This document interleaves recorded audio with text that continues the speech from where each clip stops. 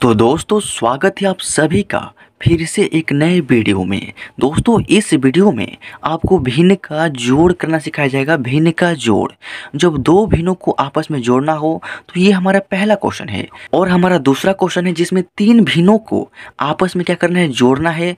तो कैसे जोड़ेंगे? आसान तरीका क्या है ना? हम इस वीडियो में सीखेंगे। और इस वीडियो को देखने के बाद अगर आपके सामने कोई भी भिन्न का जोड़ हो, दो भिन्नों को जोड़ना हो, तीन भिन्नों को जोड़ना हो, या फिर चार या फिर पाँच भिन्नों को आपस में जोड़ना हो तो आप काफ़ी आसान तरीके से जोड़ पाएँगे, क्योंकि इस वीडियो में आपको काफ़ी आसान विधि से बताया जाएगा। तो देखिए, हमारा जो पहला क्वेश्चन यहाँ पर दिया गया है क्वेश्चन क्या है? क्वेश्चन यहाँ पर दिया गया है, देखिए, सात और बाटा में क्या है? दो है। सात बटे दो क्या है? तो ये सात बटा दो जो है ना, एक भिन्न है। चूँकि भिन्न का रूप होता है पी बटा क्यू, और ये जो है पी बटा क्यू के रूप में है, यानी बटा में तो ये जो है हमारा भिन्न है, यानी पहले भिन्न में आपको जोड़ना है दूसरा भिन्न तेरह बटे चार, समझ रहे हैं ना? यानी पहले भिन्न में जोड़ना है दूसरा भिन्न तो अब देखिए भिन्न है ना तो भिन्न में ये जो है बाटा है तो इस बाटा के जो ऊपर वाला नंबर है ना, इसको अंश बोलते हैं और इस बाटा के जो नीचे वाला नंबर है ना, इसको हर बोलते हैं। यानी अंश का मान सात है और हर का मान दो है।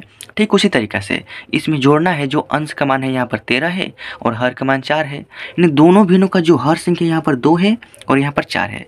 तो जो दोनों भिन्नों का हर संख्या है इन्हें दो और चार का, हमको सबसे पहले एलसीएम यानी लघुत्तम निकालना होगा। तो यहाँ पर देखिए दो कमा चार का एलसीएम निकालेंगे ना तो दो और चार ये दोनों संख्या दो से कट जाएगा, चूँकि दो के पारा में दो है, एक बार में कम है तो कम है, और दो के पाड़े में चार है, दो दोनों के चार, दो बार में।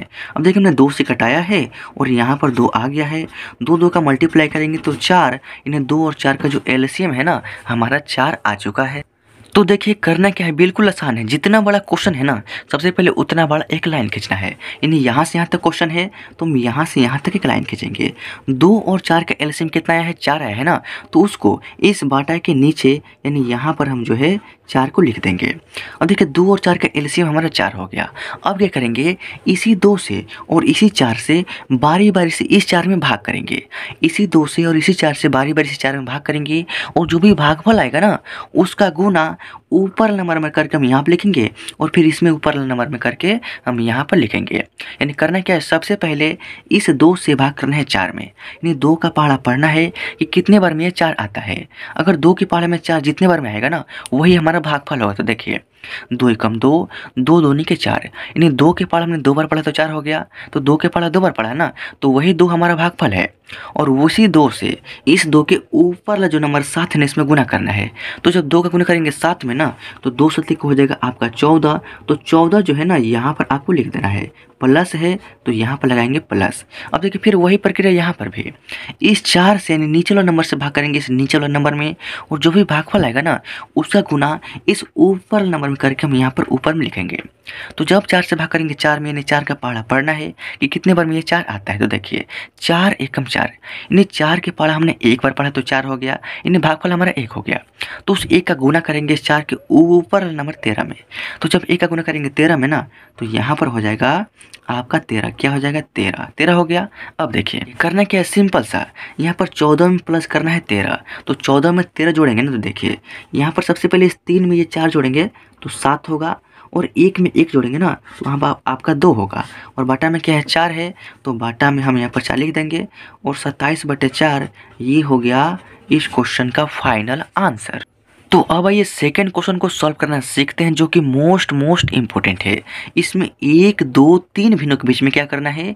जोड़ना है जोड़ना है। यानी क्या है? भिन्न का जोड़ है, जिसमें तीन भिन्नों को आपस में एक साथ जोड़ना है। तो जोड़ने का नियम क्या होता है? आसान विधि क्या है ना? वह सीख लीजिए। तो देखिए, करना क्या है? सबसे पहले भिन्न है तो भिन्न में इस बाटा के ऊपर जो नंबर इसको अंश बोलेंगे और बाटा के नीचे नंबर हर है।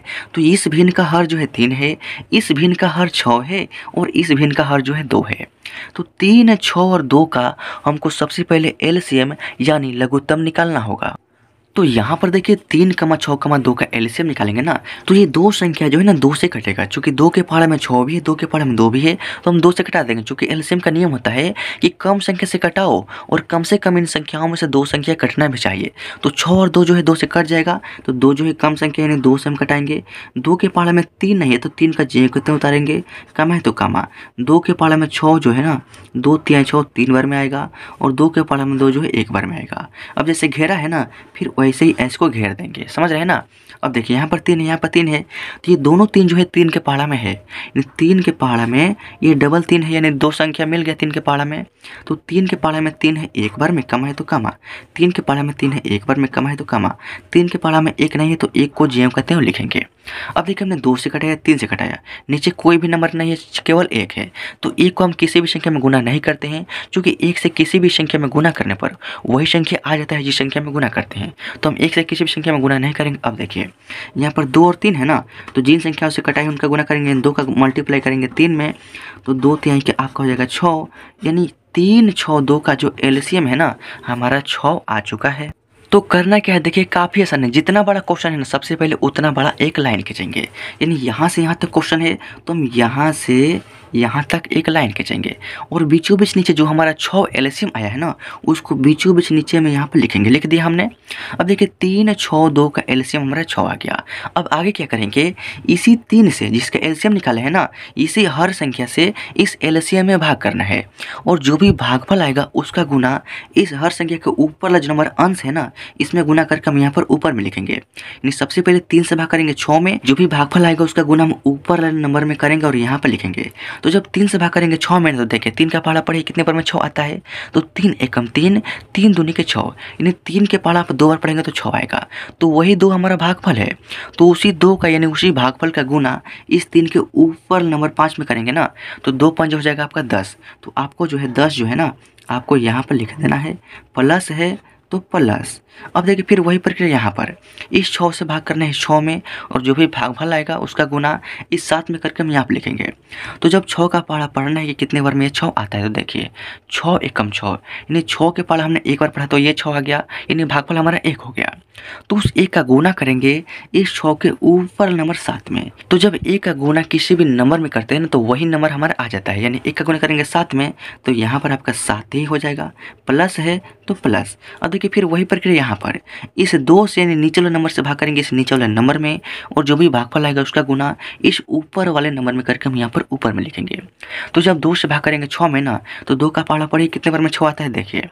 दो एकम दो दो दूनी के चार, दो त्याई के छः यानी दो की पहाड़ा हमने तीन बार पढ़ा तो ये छः आ गया। तो वही तीन हमारा भागफल है।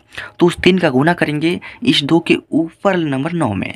तो जब तीन का गुना करेंगे नौ में ना तो तीन नौ एक हो जाएगा आपका यहाँ पर सत्ताईस। तो सत्ताईस लिख देंगे। अब देखिए, सिंपल से कार्य करना है। करना क्या है देखिए, दस में सात जोड़ेंगे तो आपका हो जाएगा सत्रह, और प्लस क्या है सत्ताईस तो प्लस सत्ताईस, और बाटा में क्या है छः तो बाटा में लिखेंगे छः अब देखिए, सत्रह में जोड़ना है सत्ताईस तो देखिए, ये सात में सात जोड़ेंगे तो चौदह का चार हारसिन वन दो में एक जोड़ेंगे तीन, एक हारसिन है तो चार।